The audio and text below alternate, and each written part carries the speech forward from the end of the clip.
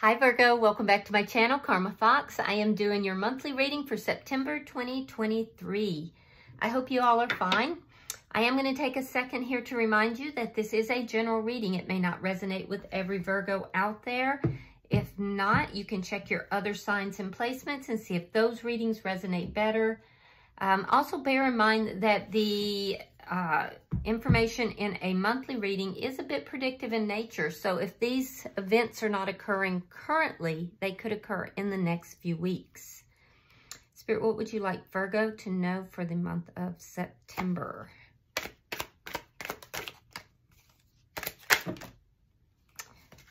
It's a little much. September, thank you. All right, Virgo, you're starting out with temperance see what's crossing that. And it is crossed by the Ten of Pentacles. You're being very patient.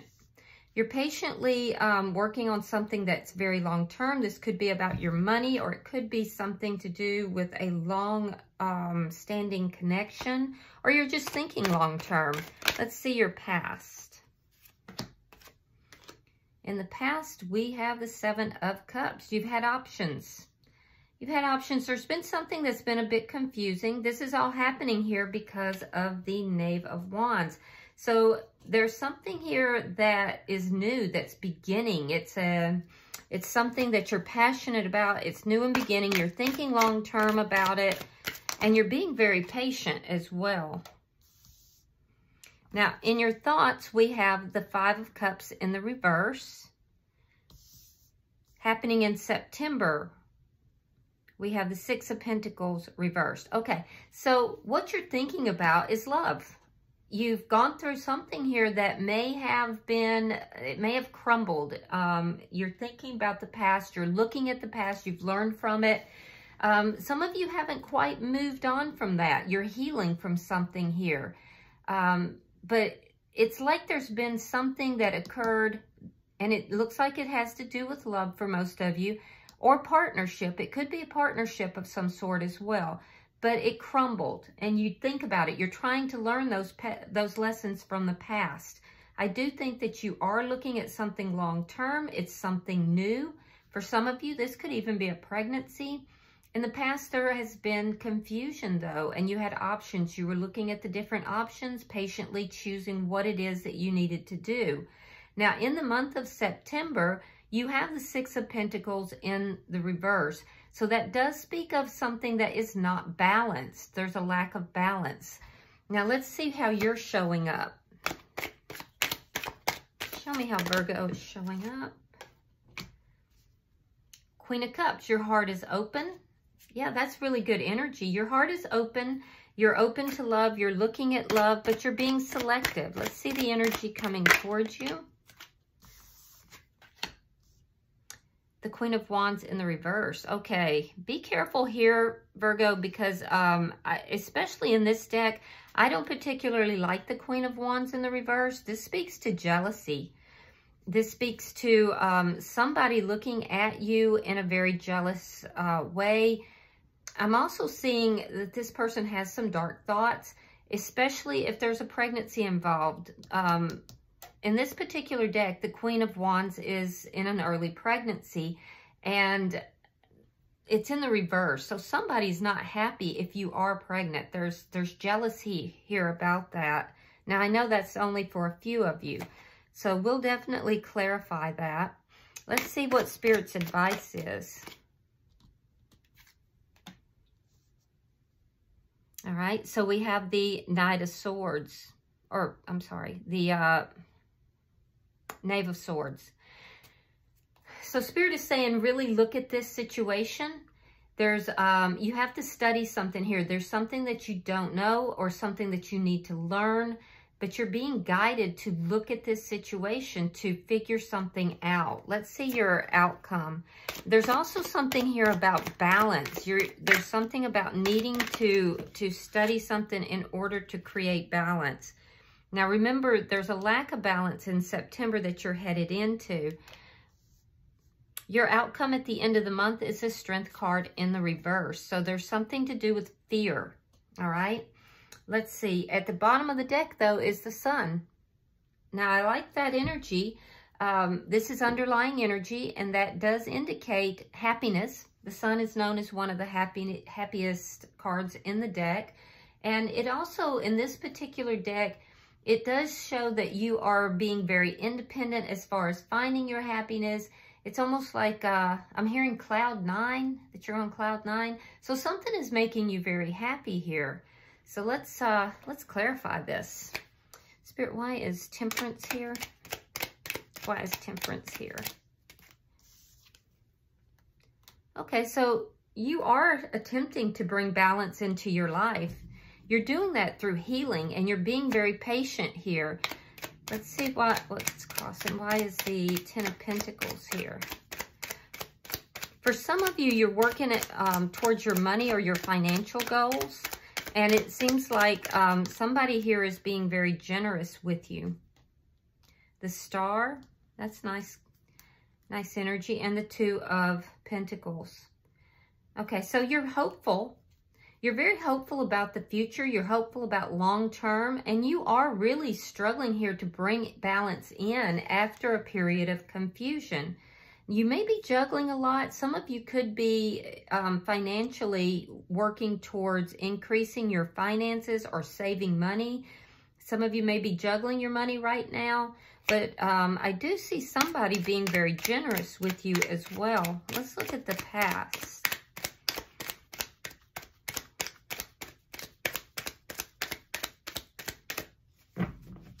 Why is the Seven of Cups here? Why is the Seven of Cups here? Ah, the King of Pentacles. Interesting. So I am seeing a lot about money here for you, Virgo. I do feel like you've been working very hard at your finances. And I'm also seeing that in the past, you have felt very powerful, even um, either with regard to finances or with regard to a particular connection. This connection brought brought you into a state of feeling very powerful, very committed. This is a, a committed energy. So this is what, what is bringing in the balance. You're being very patient about this. I am seeing that you're trying to balance things out. You, you have a lot of hope in this situation. This does look like it's something that is fairly new. Let's see. Um, why is all this happening? All right, we have the Seven of Wands in the reverse. You may have had to stand your ground in the past with this new connection or this new endeavor that you're you're embarking on. But I feel like you're kind of um, backing down. I also feel like, Virgo, somebody gave you advice, perhaps, with regard to whatever this situation is. Now, for some of you, it's about money, but for others, this has to do with a relationship. It would be a new relationship, or let's say a newer relationship something that is growing that you want to be long-term, whether it's money or whether it's relationship. Um, I am seeing that you are considering yourself to be something of a unicorn in this situation or the other person. You, you consider this other person to be a unicorn. I do feel that somebody has tried to um, oppose this connection or this endeavor and you're just absolutely not listening to whatever that is. And this is really why all this is happening. So this has to do with a connection or a new endeavor. Now let's see what's on your mind. I do feel like you've learned some, some lessons in the past, um, either through love or through partnership. Knight of Swords reversed. You're thinking that you need to keep keep quiet about something. You're trying to avoid an argument here. You've learned from the past not to say something here, to kind of keep things to yourself. Interesting. But there's something you want to say, you're just not saying it. Let's look at September. Show me September for Virgo. There could be somebody here that you're no longer speaking to, that you have a history with. Um, and that history, it's like things kind of fell apart. It Things crumbled. Um, it may have been painful. You may have gone through a period of possibly depression or sadness. Um, but I do feel like you've moved on from that. And you're now taking those lessons into this new partnership, this new endeavor, um, or this new relationship. All right, so let's see what we have here. All right, we have the Nine of Swords. We have the Chariot. We have the Five of Pentacles reversed. Page of Wands. Knight of Pentacles. Three of Cups. King of Wands reversed. Four of Coins and the Ace of Wands. Wow. All right. So, this makes more sense to me. You enter into the month here, Virgo, not having everything completely balanced out. It's because you're either not speaking your truth here or you're keeping quiet about something. Um, and this is because of something that's occurred in the past. This had to do with a partnership or it had to do with money. I do feel like you are really working hard to bring balance into your life. You start the month out without the balance though. And I do see there's something here you're very worried about in the first week of September. Something that's got you concerned, worried, you know, you're really thinking about it a lot. It's likely whatever you're not speaking on. And it could even be that you're trying to avoid an argument here with somebody. Um, I do see you moving forward from that, though. If you've lost money, you will recover that money at the end of the first week going into the second week, most likely the second week. I do see you recovering that. For some of you, you could be um, coming back together with somebody that you have known from the past. This person will be re-entering your life, but you'll find this to be good news. For a lot of you, though, this has to do with a recovery of finances lost, a recovery of, of money in some form. And you're, you're going to get really good news about that. So that's good. And it, it's really, you have this energy of moving away from loss, moving away from imbalance, whether it's in relationship or money or both. Um, in the middle of the month, I see you moving forward very slowly. It's after you've received good news or after you've communicated with somebody here from your past. Somebody that may have exited your life at some point is coming back into your life. And there will be communication. So for those of you that, you know, you're, you're hoping for communication with somebody, you're going to get that around the middle of the month. I do see you moving forward very slowly. Some of you are reconciling with somebody from your past here. Um, this person will enter your life in the second week, and by the third week, I do see a reconciliation. You're going to want to take things slowly, though.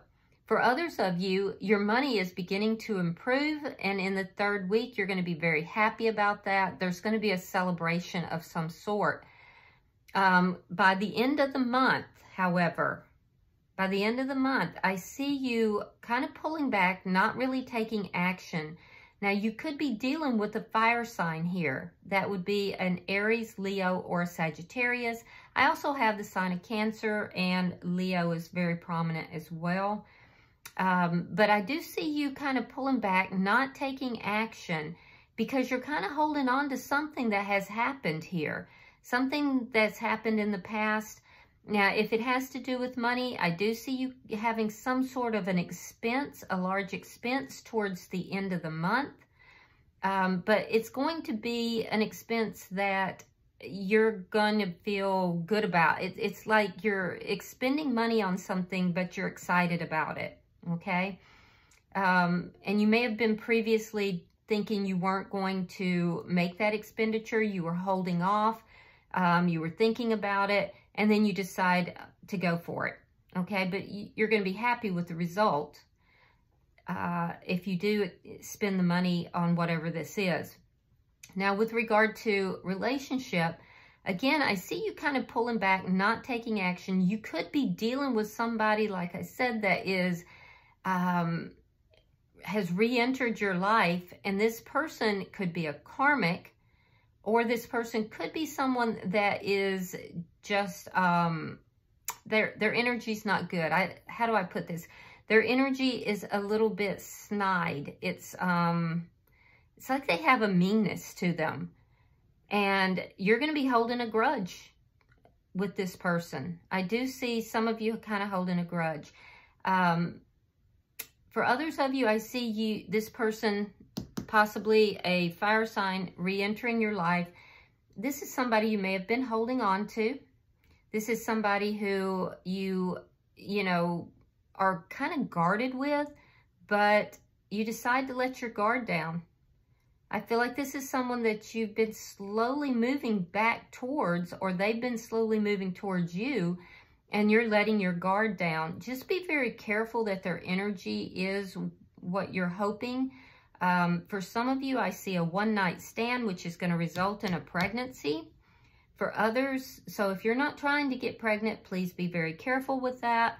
Um, and it may not even be a one-night stand. It could be a fling. You could have like a, a fling with this person and it results in a pregnancy. So if you don't want to become pregnant, you know, be sure to use protection. Um, for others of you, though, that, you know, pregnancy is not really part of the picture, there's somebody that you've been holding on to, and I do see a new beginning. It's going to be very passionate. It looks very sexual, but it's, it's something that is going to make you happy. So regardless, whether this is financial or whether this has to do with relationship, I do see you moving towards it, most likely in a very quick and sudden way, and I do see it bringing happiness. So, because you have the sun here as your underlying energy, and it's you have the sun coming back in at the end of the month as well, and that's really good. That's good energy. So let's see your energy. Why is the Queen of Cups here?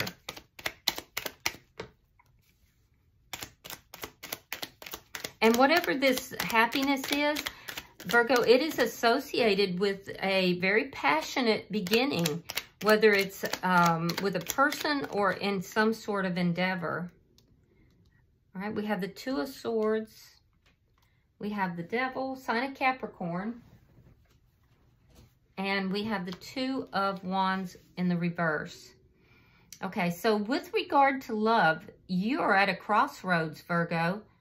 Um, you feel deeply attracted or deeply um, attached to somebody. And this is somebody that you, they could live at a distance from you. And I do feel that you have to make a choice about this person. So you're hesitant to make a choice. You're very tempted by this person. And it's either a situation you love or a person that you love. But it puts you at a crossroads. You don't want to make a decision. And it looks like you don't want to make a decision because you, you don't want to make the wrong decision. But I do see you, you know, finally choosing. You're, you, you're put in a situation where you're, you're going to have to make a choice here. Let's see the energy coming towards you because this does concern me a little bit.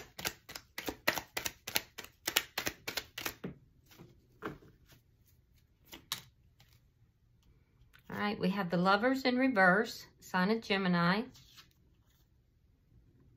the Emperor, Aries, and we have the Death card in reverse. So the energy coming towards you is somebody that is taking action here. They're bossing up. This is somebody that there was an ending, and this was either a partnership of some sort, or, and for some of you, it definitely is. This could be a boss. So this, you could have been in um, you could have a boss that's returning that's asking you to come back. Be careful because this person is, um, they have jealous eyes. They are, they're not, they're not in the best energy at all times. There's like a jealousy or they're looking at you with envy of some sort. There was an ending here, either an ending of a partnership, an ending of a job situation, or an ending of a love connection. For most of you, it looks like it's a love connection. This person is bossing up. They're coming back. And it's because they they tried to end this, but they can't. There's a For some reason, there's unfinished business between the two of you. At least that's how they feel. And I'm seeing it strongly because they're holding on to you. This person comes back into your life around the second week And then I see some sort of a reunion with this person in the third week of, of September. So this is somebody that can't let go. And uh, I, it, it could even be a friend. It could be a family member. But I'm definitely seeing that this person has unfinished business with you. And I'm also seeing that there's been some sort of ending that they don't want. It looks like uh, neither of you were taking action on this for a while. But now this person's going to be the one who kind of takes charge of the situation. Now, Spirit is saying you need to look deeper into this. And also, there's an indication here that you have to balance out the light and the dark here. There has to be a balance, and you have to figure out how to bring that balance in. All right, we have the Seven of Coins reversed. There's that Ten of Coins. And then we have the Tower. All right. So in Spirit's advice, you're being guided to, if this is investment-wise, because you've got a lot of coins here, you're being told to really balance out anything that has to do with investments. Do your homework, really study it. Because there could be a long-term investment that you're making that um, it's a bad investment. It could be a long-term investment that's not good, and it's going to lead to a tower moment. Now, with regard to partnership of any kind, family as well, sometimes the Ten of Coins can indicate family. Um, so with regard to family, relationship, um, lovers even, you're also being asked to really look at this, making sure that you're not being impatient, making sure that you're putting in the proper investment, but that the other party is putting in the proper investment as well. Because if you're not doing your homework on this, if you're not, you know, balancing this out and really figuring out how to balance this out, it, it's going to lead to a tower moment. So there will be a sudden shift here and it will not be in a positive nature, at least not with that deck. So let's see so do your homework, basically. All right, so in your outcome, we have the Strength card in reverse. All right, Five of Wands, King of Cups. Now, you're showing up as the Queen of Cups, okay? So this has to do with somebody who is a perfect partner for you. All right, so there's fear, though. There's fear here. This person is watching you. This person has been watching you for a while. For a lot of you, this has to do with love. But this person is actually a perfect pair. It does look like you may have dealt with a karmic in the past. Yeah, somebody that there was a lot of passion with, but this, this person was a karmic. Now, this person here is not a karmic. So you're, you've got more than one person, the energy here. All right, there's a King of Wands and there's a King of Cups.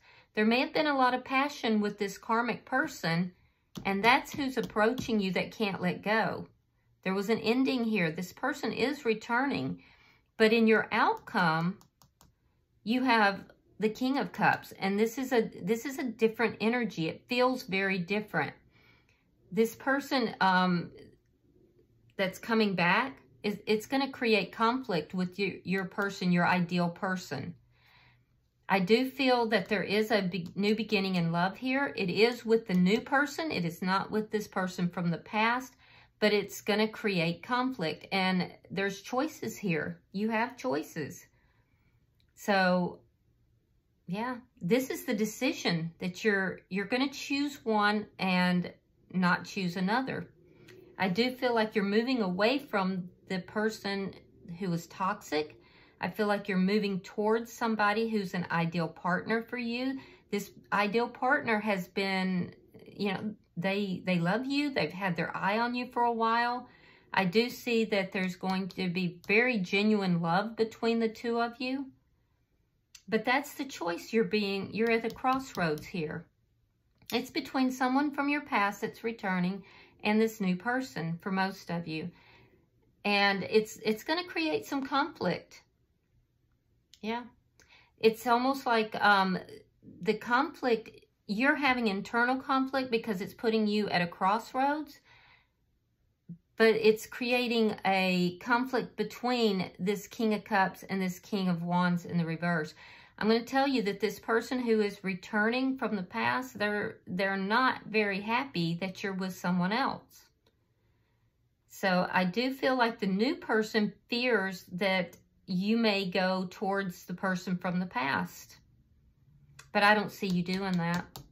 Either way, you have this Ace of Cups coming in and you're going to be very happy. You have the Sun coming in. You have a passionate new beginning that is full of love as well. And I do feel like it is with the new person for most of you. All right, bottom of the deck is the Judgment card. So you're having to make a judgment call here. And again, this is a return from, from this past person. So this past person's energy is very strong. They're holding on to you very tightly. But I think by the end of the month, you will have sorted it out. I don't feel that you're moving towards this past person as much as they do try. Yeah, I do see you moving towards someone new. All right, so let's um let's see. Now, if this has to do with jobs, um, because we do have the Emperor here, um, I do feel like you're going to be moving towards a new opportunity that you are going to really love because you may have lost your um, desire to be in the um, connection or job or situation that you were in previously. But it's nice to have choices, isn't it, Virgo? All right. All right, I was told to take the middle, so let's see what we've got. Ah, look at that. You've got the sun again. That's the third time you have the sun. Interesting. Okay, so and it's number 28, Virgo, so that indicates that there's an ending of a cycle here as well. Um, you're closing something out so you can begin something new. All right, so the sun has to do with, um, it says growth in personal relationships, a newfound optimism and enthusiasm. So it says the sun shines brilliantly on your whole life. You are feeling much more optimistic and enthusiastic about everything, and your life will be enriched through all of this positive energy. You will surely attract some wonderful experiences into your life. Your newfound confidence will see you leaving past struggles behind as you embrace the radiant successes that will surround you. Now, with regard to relationships, it says this is a wonderful period for emotional happiness around your whole family. If you're single, this card indicates the beginnings of a strong new relationship. Yep, right there. Um, existing relationships see positive growth and fertility is at an all-time high. See, be careful if you're not trying to get pregnant. Um, children may bring double happiness and the greatest joy into your world. With regard to career and finances, it says dynamic goal attraction will keep you busy and on your toes and difficult financial times will be put behind you as you start attracting opportunities for financial security and growth on the career front. Ambitions will be satisfied around wealth issues with lots of new options and opportunities. Beautiful. Yeah, that really does summarize your reading. So it looks like you're going to have a really fantastic September. Um, you know, don't, uh, don't let this past person cloud any of that because you have a lot of happiness coming your way, Virgo. All right, I hope this has been helpful. If you have resonated with this, please hit that like button. And if you haven't already subscribed, please do so. I would be grateful. Until I see you guys in your weekly readings, namaste.